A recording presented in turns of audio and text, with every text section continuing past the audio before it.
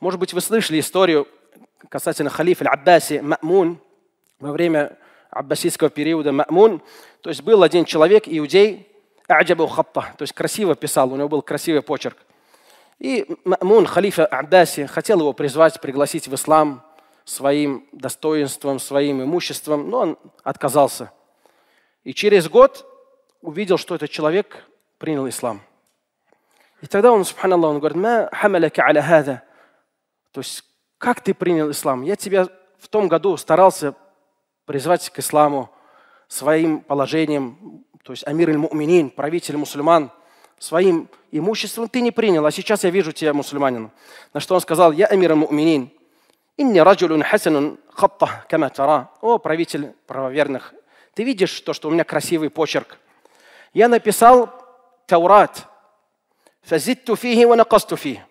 Написал Таурат и что-то добавил от себя в Тору и что-то оттуда стер, убрал. فأعرضت عليهم فقبلوه واشتروه مني. Я им предложил им, их монахам, они, им понравился мой почерк, они купили у меня. Также я поступил с Инджилем, что-то туда добавил и что-то убавил. Предложил им, их монахам, они заплатили мне за это плату и купили его. Коран. И потом я написал Коран и также поступил, как поступил с Тауратом и с Инджилем. Добавил и убавил. И показал это верующим ученым мусульманам.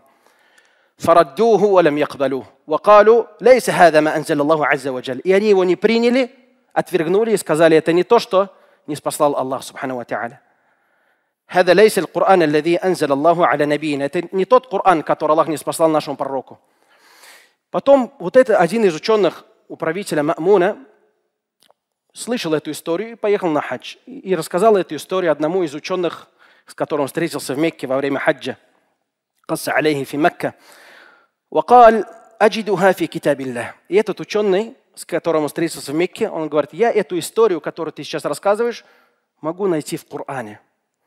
قالوا أين تجدها؟ Он говорит, где ты, где в Коране об этом сказано? في قول الله تعالى عن إخبار اليهود والنصارى بما استحفظوا من كتاب الله. То есть, когда Аллах описывает Яхудов и Насара, Аллах Субхану Ва говорит, то, что им было поручено сохранить из Писания Аллаха. То есть они выучили то, что им было поручено. То есть Аллах Субхану Ва Та'аля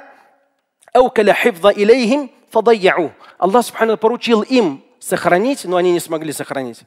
ولما ذكر حفظ هذا الكتاب а الله Аллах القرآن Коран, сказал نحن нахну الذكر дзикра له инна лаху лахафизун».